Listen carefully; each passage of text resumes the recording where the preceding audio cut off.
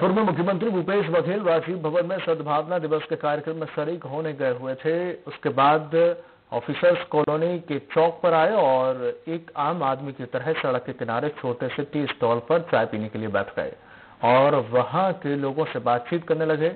वहीं उनके साथ पीएल पूनिया और कांग्रेस के प्रदेश अध्यक्ष मोहन मरकाम, साथ ही साथ कई मंत्री विधायक भी मौजूद थे, जिन्हें देखकर लोग हतप्रभ रह गए। आपको बता दें, और लोगों को यकीन नहीं हो रहा था कि प्रदेश का मुखिया आम आदमी की तरह छोटे से टी स्टॉल पर चाय पीते हुए लोगों से बात कर रहा है।